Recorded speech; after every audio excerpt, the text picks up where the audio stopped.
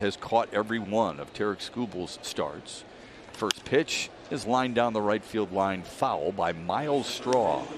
Good indication, Dan, of a guy that the numbers don't always tell the story with Myles Straw. Helps this team in so many different ways. And a You know, and he's starting to use the whole field, but especially going the other way. swung on and missed, and it's one and two. Terry Franco. Straw barely got a piece. Wait till I get burnt. I'm going to start showing my pitches right away. to right center field. Daz Cameron made up the ground. Last weekend in Cleveland. Here's Amed Rosario. Take strike one. You talked about Scubalo early with the change pitcher. Off the end of the bat to right field. Cameron where he stands. Two away. Yeah, right there's a good indication. The first pitch of that. So just very, very unpredictable so far in the early going. Ramirez first pitch swinging, right center field gap, but Cameron makes up the ground there. Oh, he will face the four, five, and six hitters, as in Owen Miller, Josh Naylor, and Oscar. Three fly ball outs to right. Quickly ahead of Miller, 0 2.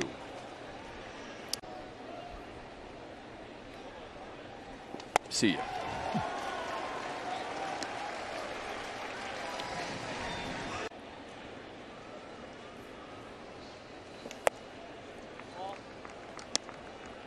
Club two. Takes it low and it's 2 0. He gets, uh, he had that crowd like, I'm okay, I'm okay. And he stayed in the game. Just provides a lot of energy. Into the shift for Jonathan Schoop. Out of his shoes trying to hit a fastball. Let's see what Tarik does. Nope. Stayed away with that fastball. I just.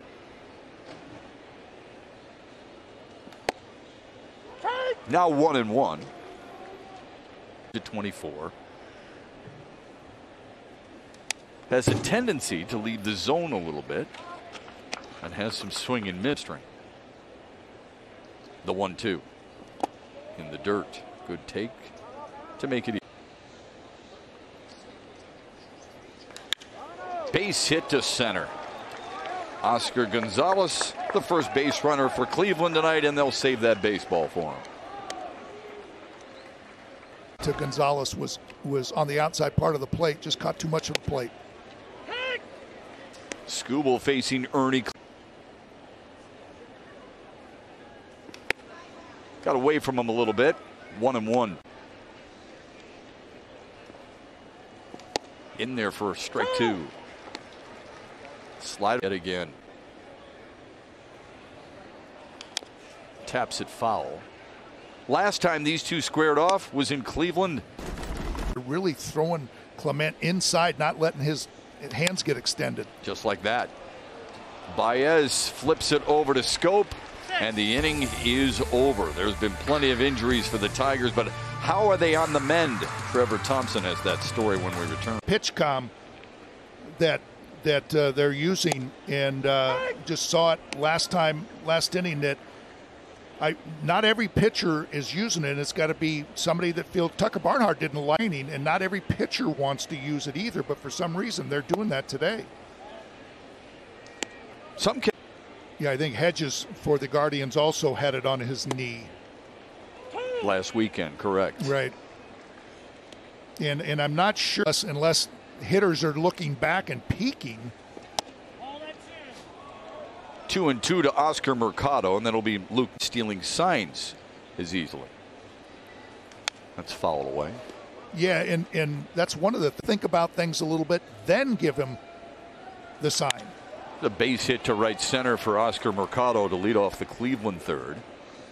And if you haven't seen it before, pitchers are able to pick up that signal with I'm out and just say, hey, we're not getting the signal. or need another device.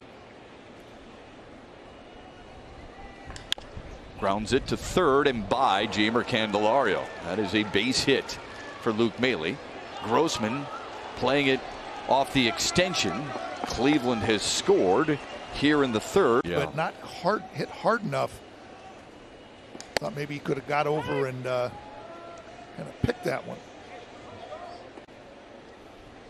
Candelario with his toes on the grass at third base. Short hopped by Jonathan Schoop. He'll throw to third. And the Guardians do not learn. And yeah, just bounced right off of Spencer Torkelson's glove. Not sure if of Spencer Torkelson's major league career. Had a perfect fielding percentage. Just wow, gosh, I wouldn't I shouldn't even have thrown over there. Now two and one to Rosario. Just walk off and get that walking lead. Fouled away, and he's a running threat. I mean, Myles Yep. Straw steal you a bag or so.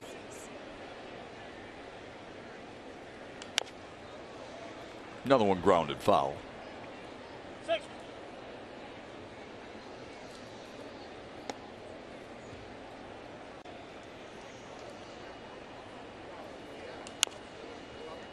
Another one foul. Ramirez on deck. Another 2 2. Another foul. You got evidence right there to show that yeah, you spilled a little bit. Still plenty left in that cup to drink. Good for him. And I, I am again. Inside in Rosario. A well earned walk. First pitch, he jumped on it and hit that ball into the right center field. First time up, and there's a good strike one. Make it strike two now. That's the knuckle. Hey, where did that thing come from? And Jose Ramirez just takes it. That one's ripped foul. There goes Straw to third. Grounder to short. Baez checks the runner at third, throws out Ramirez for the second out.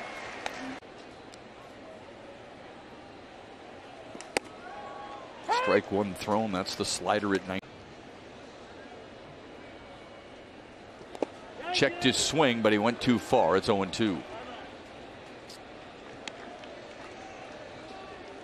Again, you string with that changeup. Base hit to left, just out of the reach of Baez. That'll tie the ball game. Owen Miller drives in two with two outs here in the third. Poorly of a pitch, is probably caught a little bit too much of the plate. Well, Dan, that goes back to Cleveland's really good base running. Myles Straw Everything that Javi Baez could do to just to get Ramirez at first base. on the corner to make it one and one to Josh. A little wide two and one.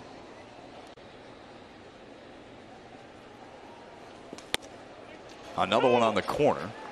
Two and two.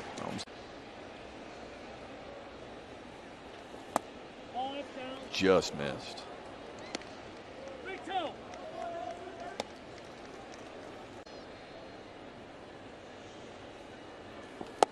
He went. And down goes Naylor, but Cleveland able to tie it up at three. In the second, off Tarik Skubal. He takes one in the dirt 1 and 0. New first base coach in this. Congratulations to him and his entire family. The right place to be for him. You know, I I take uh, a day or two off to to go. Uh, Good for him. Off the end of the bat foul. I was talking about that with A.J. Hinch the other day. His dog. Gonzalez waits on the 1 2 upstairs. My daughter actually you'll be there. I will be there. Absolutely. Here's the 2 2. Grounded to the right side. Good range by Jonathan Schoop. And there's one away. You mean to us. There's Ernie Clement. It was a big weekend last weekend too in Cleveland It when they celebrated that, and they had a big parade, socks and the mm-hmm. camo hats. Yeah, you and I were out there talking with a lot of the folks who are Monday on Memorial Day as well. Here's the 0 2 to Clement. Grounded to third on the backhand. Candelario. That's a special play. Wrap that one in your. Pitchers appreciate that Oh, more than anybody. First pitch swinging and a fly ball to center. The Guardians go one, two, three. That's a nine pitch frame for Tarik Skubal. Needed some help from his defense. Loaded, and we head to the fifth. The 9 1 and 2 hitters against Tarik Skubal. Tonight's a pretty good highlight of the struggles of the offense. Detroit on base in four innings. One and one to Luke Maile. To show for it, get the starter out of the game. You got to you got to capitalize. Happened in the first, and it happened again in the fourth. Third, it was a seeing eye double on the left third base line. This one sprayed into center.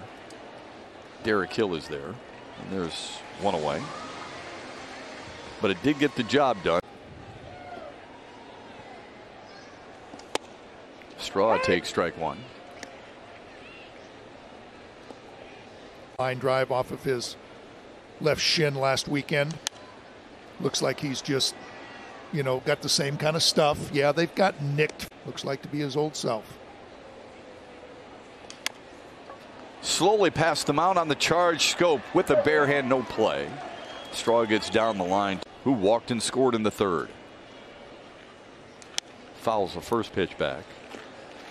Dan had mentioned one and one to Rosario.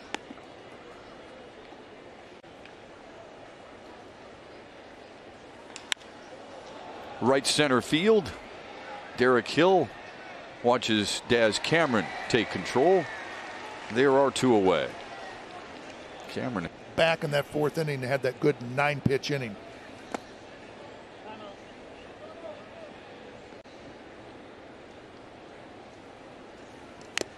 Fouls it away. It's one and one. What'd you think about that carpet or anything? I'm just gonna, I'm, I'm gonna take that and I'll be very happy with it. Well, it was a five-year, 124 million, and you got to feel pretty good if you're a Guardians fan. I think he's a heck of a player.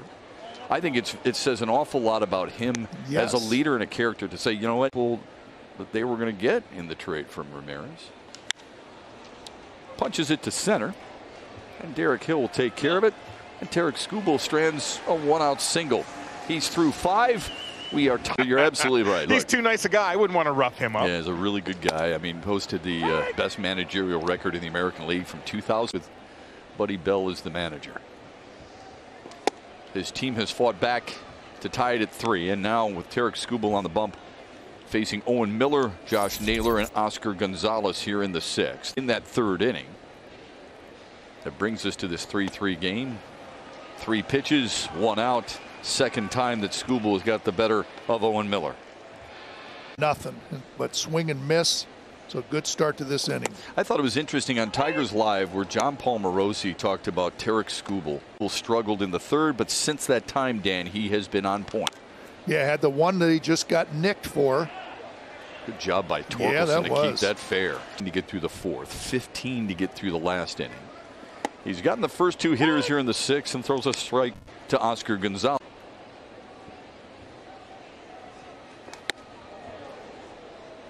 playing Gonzalez. Velocity. Actually, it's gotten better as the game has gone on. Mm -hmm. Slowly to third. Candelario on the charge. Got him.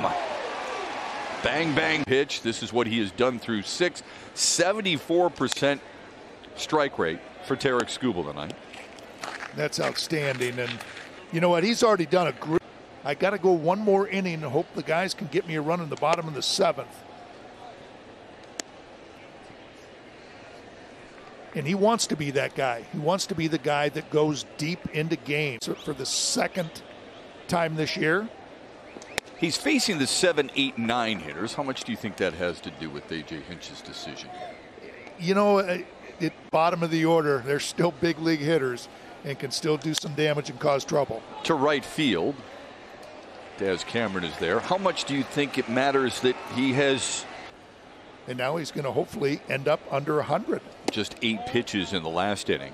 It's been just that third inning where the pitch count got to an alarm 15 pitches or so in an inning might cause you a little bit of stress. He had 32. Seen Oscar Mercado, who singled and scored in the third. He's also flown out to center. It's two and one. There's the pitch count per inning for Skubal you know, in, in those high pitch, you've got to do some pitching, hit your spots a little bit better. But Tarik Skubal now, you know, when you have a low pitch count. And he strikes out Mercado, his fourth punch out of the night. Two up, two down in the seventh for Tarik Skubal. Come in, and the members of the opposing team's media says, I'm really looking forward to watching this guy play. His games. Inside, and it's 2 0 to the number nine hitter, Luke Maile. What do you think about the usage so He shortened that one up, and that's what helps him get back into those counts where he falls behind. He doesn't have four seamer and the two seamer, so he does throw more fastballs, but the biggest pitch. And there's a like a good. That's eight in a row retired by Tarik Skubal. Mows down the Guardians one, two, three, and